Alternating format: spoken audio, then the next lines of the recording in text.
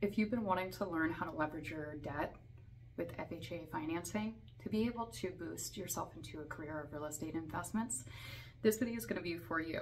Now, before I jump into releasing all of my industry secrets, please do me a favor, hit that like button, share our video, and hit the subscribe button. More importantly, hit the subscribe button. so we can continue to make great educational resources available to you guys completely for free. Thank you. So just to jump into all of this to get started. The basics of, of being able to qualify for FHA is very simple. If you have a 500 to 579 credit score, you'll be able to qualify with 10% or more down. Now, the likelihood of actually getting approved on that spectrum is not necessarily the best, so take your risks very, very lightly with that range. 580 plus, you're looking at about 3.5% down. Now, this is where comes the interesting industry leverage points. So you can actually buy up to four units with FHA financing. Okay, and FHA financing basically just says that you are required to occupy one of the units. So if you're a young adult or anybody for that matter, you are really able to leverage your debt right now and project yourself into a real estate investment career. And we help you at our real estate brokerage. So we provide exclusive buyer's agency and basically what we do is we sit down with you we go over the financials, we go over the properties numbers. So when I say financials and properties numbers, I basically just mean we look at your overhead and we look at your revenue that is pro forma on the property or is already current.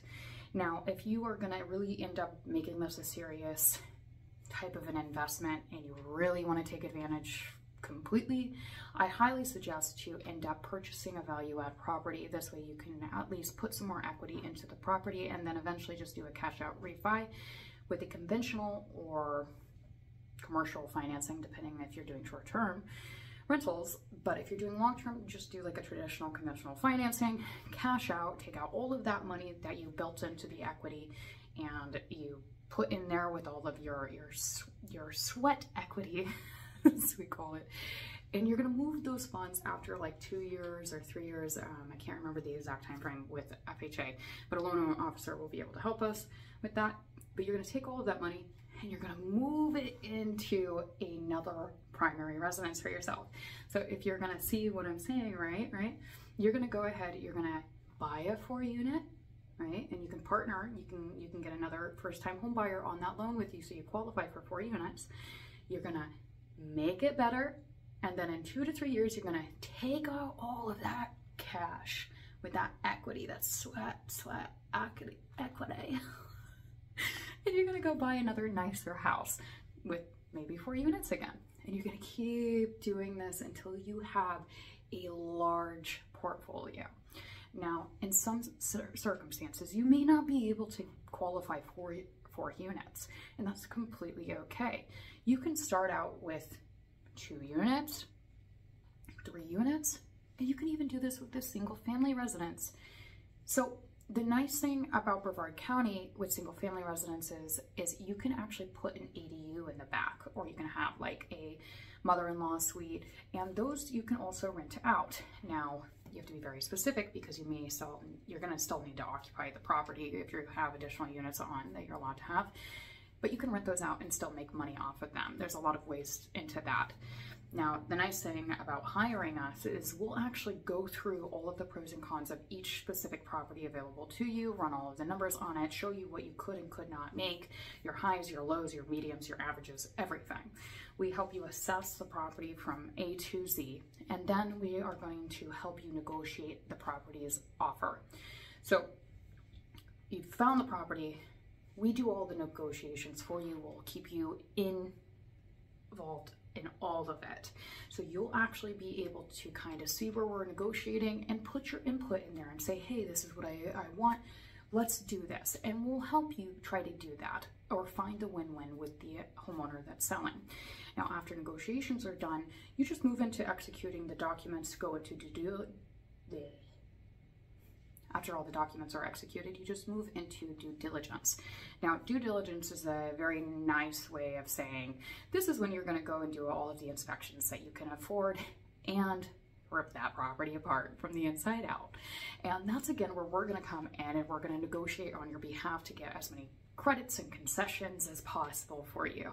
Okay, and I love being aggressive with negotiations. So if you're looking for an aggressive realtor, well, broker, then I am going to be probably the best bet. I'm very familiar with zonings and I just like to play ball. so with all of that being said, guys, it's really just a great opportunity for you to be able to continue building generational wealth after we do the inspections. And the nice thing about it is we actually help you schedule the inspections. We have all of the vendors already ready for you and we make it so one, two, three, easy peasy that it's just silly.